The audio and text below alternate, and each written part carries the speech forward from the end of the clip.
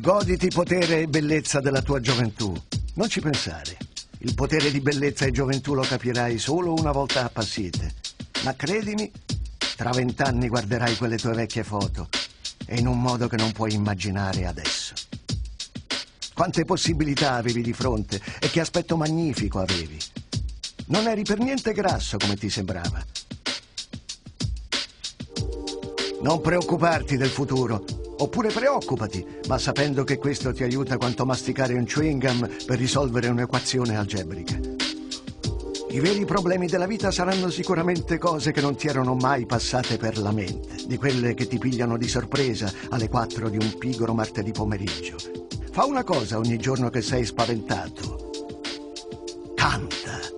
Non essere crudele col cuore degli altri.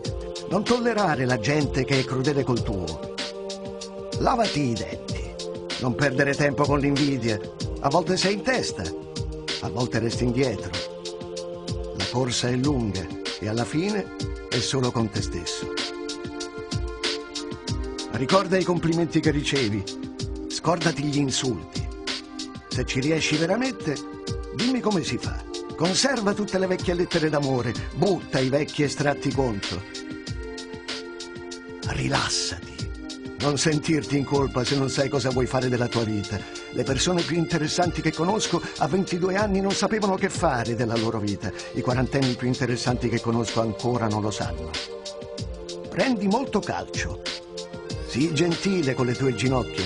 Quando saranno partite ti mancheranno. Forse ti sposerai o forse no. Forse avrai figli o forse no.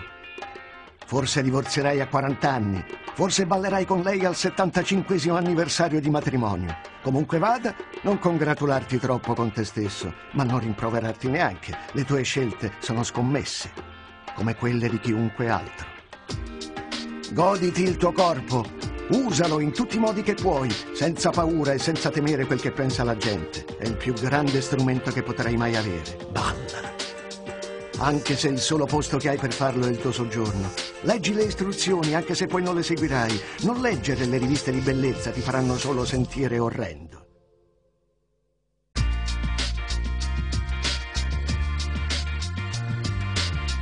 Cerca di conoscere i tuoi genitori. Non puoi sapere quando se ne andranno per sempre. Tratta bene i tuoi fratelli. Sono il miglior legame con il passato e quelli che più probabilmente avranno cura di te in futuro. Renditi conto che gli amici vanno e vengono, ma alcuni, i più preziosi, rimarranno. Datti da fare per colmare le distanze geografiche e di stili di vita, perché più diventi vecchio, più hai bisogno delle persone che conoscevi da giovane. Vivi a New York per un po', ma lasciala prima che ti indurisca. Vivi anche in California per un po', ma lasciala prima che ti rammollisca. Non fare pasticci coi capelli, se no quando avrai 40 anni sembreranno di un 85enne. Sii cauto nell'accettare consigli, ma sii paziente con chi li dispensa. I consigli sono una forma di nostalgia. Dispensarli è un modo di ripescare il passato dal dimenticatoio, ripulirlo, passare la vernice sulle parti più brutte e riciclarlo per più di quel che valga. Ma accetta il consiglio per questa volta.